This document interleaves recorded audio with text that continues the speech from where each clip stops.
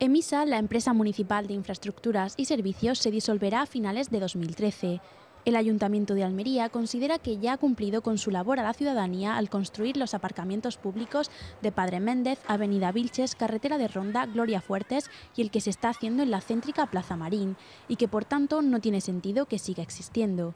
El consejero delegado de EMISA, Esteban Rodríguez, ha querido dejar claro que la empresa es solvente en términos patrimoniales, pero la asfixian las deudas de las concesionarias. Esa es la deuda que tiene EMISA, la de 11 millones, fruto de ese préstamo que está pagando religiosamente. Sin embargo, la deuda que se tiene con EMISA es de 14 millones de euros. O sea, ya solo en deudas, EMISA tiene un saldo a su favor de 3 millones de euros.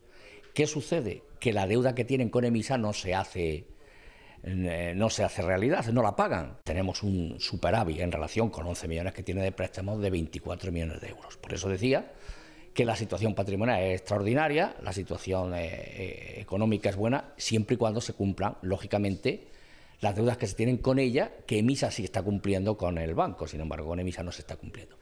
Con la construcción de estos cinco parking, Almería cuenta con 2.336 plazas de aparcamiento públicas, una infraestructura necesaria para la ciudad que espera una mejor coyuntura económica para dar salida a las plazas en.